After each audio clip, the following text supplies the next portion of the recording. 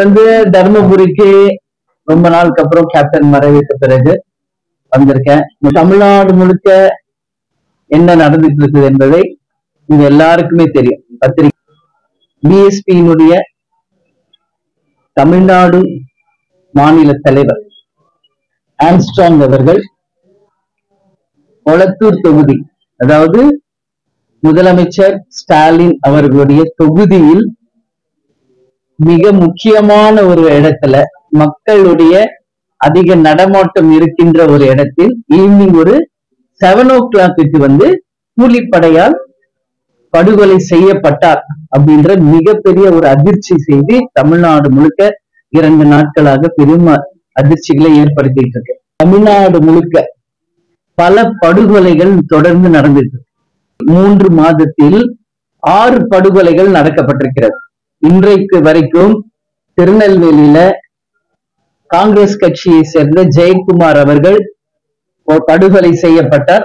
இன்னைக்கு வரைக்கும் அது யார் கொலை செஞ்சாங்க எப்படி அந்த கொலை நடந்தது என்று ஒரு சின்ன எவிடன்ஸ் கூட நம்மளுடைய தமிழக காவல்துறையால கண்டுபிடிக்க முடியல. அது மட்டும் இல்ல இப்போ ஒரு ஒன் வீக் முன்னாடி சேலம்ல அனைத்து இந்திய அண்ணா திராவிட முன்னேற்ற கழகத்தின் முக்கியமான நபர் சண்முகம் படுகொலை செய்யப்பட்டிருக்கார். திமுக கவுன்சிலரின் ஹஸ்பண்ட் அப்படின்றது இன்னைக்கு அவங்களே சொல்லி அரெஸ்ட் பண்ணியிருக்காங்க. நேத்து நடந்த படுகொலையில பாத்தீங்கன்னா அருள் அப்படின்றவர் ஆல்ரெடி திமுகல வந்து இருக்கிறவர் அப்படின்னு அவங்க கட்சி பேனர்லயே இன்னைக்கு தமிழ் சென்னை முழுக்க இருக்கு. தமிழக அரசினுடைய முதலமைச்சர் அவர்கள் காவல்துறையை இன்னைக்கு தன் கையில வச்சிருக்காரு. என்ன பண்றார்? அப்படின்றத மக்கள் கேள்வியை நம்ம கேட்கணும் எட்டு பேர் வந்து நைட்டே வந்து அரெஸ்ட் பண்ணிட்டோம் அப்படின்னு முதல்வர் சொல்றார். ஆனால் சென்னையில நேத்து நான் இருந்தேன். தமிழக காவல்துறை அவங்கள அரெஸ்ட் பண்ணல. அவங்களாக வந்து சரண்டர் ஆயிட்டாங்க. இதான் உண்மை. அந்த எட்டு பேருமே அவர்களாக வந்து சரணடைந்தவர்கள் தானே ஒழிய காவல்துறை அவங்கள கைது பண்ணல. அதுவே முதல்ல ஒரு தப்பான நியூஸ வந்து பதிவு வைக்கிறாரு. அது மட்டும் கிடையாது. அந்த எட்டு பேரில் அருள் அப்படிங்கிறவர் வந்து ஆட்சி ஆளுங்கட்சியினுடைய பேக்ரவுண்ட்ல இருப்பவர் என்பது ஒட்டுமொத்தமாக நேற்று நாங்க அங்க போனப்ப பிஎஸ்பி கட்சியை சேர்ந்தவர்களே என்கிட்ட சொன்னாங்க.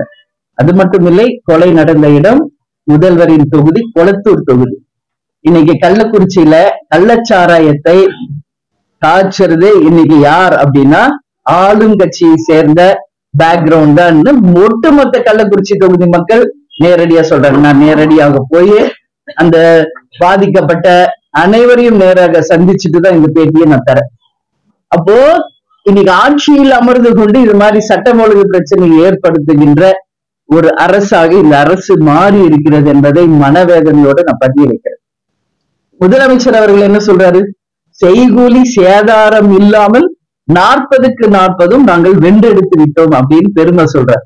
தேர்தலை நோக்கி தான் இந்த ஆட்சி இருக்குது ஒழி அடுத்த தலைமுறையை நோக்கி இந்த ஆட்சி இல்லை என்பது உங்கள் இந்த நான்கு ஆண்டு கால ஆட்சியில் தெளிவாக மக்களுக்கு பதிய வச்சிருக்கீங்க. அப்போ இன்னைக்கு செய்கொலி சேதாரம் உங்களுக்கு இல்ல. ஆனா மக்கள் டெய்லி சேதாரம் ஆகிட்டு இருக்காங்களே. ஒட்டுமொத்தமாக பட்டியலின மக்கள் டெய்லி சேதாரம் ஆகிட்டு இருக்காங்களே. இதற்கு யார் பொறுப்பு ஏற்பது அப்ப இங்கு செய்கொலி சேதாரம் மக்களை பாதிப்பது முதல்வருக்கு தெரியலையா? அப்படி இந்த ஆட்சி எப்படி இருக்குதுன்னு நீங்க நினைக்கலாம். ஒட்டுமொத்தமாக இருக்கின்ற அனைத்து மேயர்களும் மிகப்பெரிய மனக்குறையோடு தான் இன்னைக்கு ஆட்சி பண்ணிட்டு இருக்காங்க அதுக்கு எக்ஸாம்பிள் திருநெல்வேலி மேயர் ரிசைன் பண்ணிட்டார். கோயம்புத்தூர்ல இருக்கிற மேயர் ரிசைன் பண்ணிட்டாங்க. இன்னும் தொடர்ந்து இருக்கின்ற அத்தனை கார்பரேஷன்ல இருக்கிற மேயர்களும் வெகு விரைவில் ராஜினாமா செய்ய இருக்கிறார்கள் என்பதை அந்த இரண்டு மேயர்களே பதிய வைப்பதிலேயே தெரியுது. இந்த திமுகவினுடைய ஆட்சி எப்படி நடந்து கொண்டிருக்கிறது என்பதற்கு உள்ளங்கை நெல்லிக்கனி இன்னைக்கு ரெண்டு ஆளுங்கட்சியை சேர்ந்த மேயர்கள் இன்னைக்கு வந்து ராஜினாமா பண்ணியிருக்காங்க. இப்போதான் கள்ளக்குறிச்சிக்கு போயிட்டு வந்தேன். எழுபது உயிர் கள்ளச்சாராயத்துல எழுபது பட்டியலின மக்கள். தொடர்ந்து நம்ம பாத்தீங்கன்னா எல்லாருமே பட்டியலினத்தை சேர்ந்தவர்கள் தான். படுகொலைகளும் கள்ளச்சாராய மரணங்களும் தொடர்ந்து நடந்துகிட்டு இருக்கு. இன்னைக்கு நேத்து பார்த்தா கூட்டணியில் இருக்கும் சகோதரர் திருமாவளவன் அவர்களும் செல்வ பெருந்தைய அவர்களும் வந்து இறுதி அஞ்சலி செலுத்திட்டு என்ன சொல்றாங்க? இவங்க வந்து எட்டு பேருமே உண்மையான குற்றவாளி கிடையாது. உண்மை குற்றவாளிகளை தமிழக அரசு கண்டுபிடிக்கணும் அப்படின்னு சொல்றாங்க. இன்னைக்கு செல்வ பெருந்தைய அவர் என்ன சொல்றாரு? இந்த சட்டம் ஒழுங்கு மிகப்பெரிய ஒரு சீர்கேடா மாறி இருக்கிறது தமிழ்நாடு அப்படின்ற இன்னைக்கு அவங்க கூட்டணியில தானே இருக்காங்க. காங்கிரஸும் சரி திருமாவளவன் அவர்களும் ஏன் முதல்வரை நேராக சந்திச்சு இந்த சட்டம் ஒழுங்கு பிரச்சனை இந்த அளவு சீரழிஞ்சிட்டு இருக்க?